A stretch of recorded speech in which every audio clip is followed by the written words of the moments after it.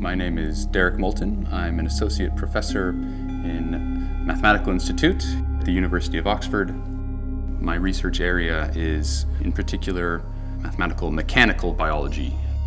I take a question motivated by the biological world, phrase it in terms of mathematical language by looking at the mechanical forces involved, and then try to answer the question by mathematical techniques. I'm very interested in, in seashells. Seashells have this very simple and basic pattern, this logarithmic spiral, but this is a very universal pattern. It's seen in many places beyond seashells. From an evolutionary standpoint, a scientific standpoint, shells are of tremendous interest. So mollusk, that's the creature that lives in and builds the shell, form the second largest phylum in the animal kingdom. They date back to 500 million years ago. There's massive diversity and there's a huge fossil record as well. Questions about evolution of mollusks are always based on looking at the shell, how it's changed and diversified through time. But while the changes themselves are well documented, the reason for those changes is not at all clear. How does the shell form? Why does the shell look the way it does? Why don't all shells look the same? It's a very difficult thing with shells because there are no videos where you just watch a shell growing. You can't really do experiments on a shell and test that exactly what what you think is happening is going to happen. What you do have is this massive fossil record. And you have a few quantifiable parameters. You can measure how quickly the shell is expanding. You can measure geometrical parameters like that. And then you can feed them into your, to your model. So we set out trying to just build a, a, general mathematical framework. That was sort of our first step.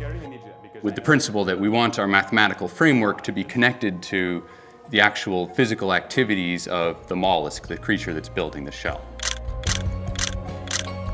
The growth process itself is, is fairly simple. You have growth occurring really on one edge. Through that process, you get this huge diversity of, of patterns that you see.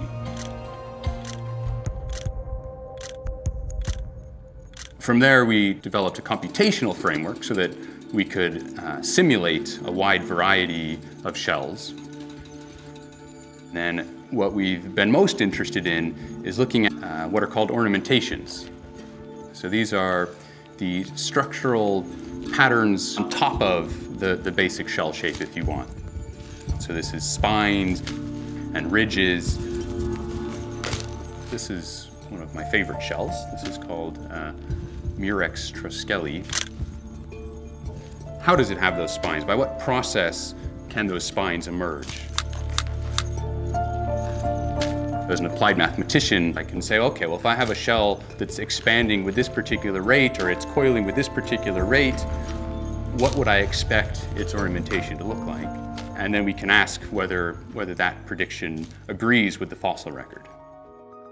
And what we've been able to show is that, in fact, if you have the right growth rate of the creature and the right sort of elastic properties of this tissue, then in fact you, you can see these spine patterns.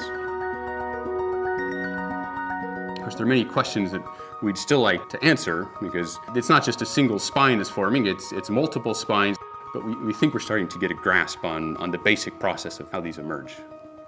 But for every answer we find, three new questions pop up. And this is actually, I think, the beautiful thing about, about research and about science is there's always more questions to ask. The job is never done, which is maybe depressing in a way, but I think it's fantastic as well.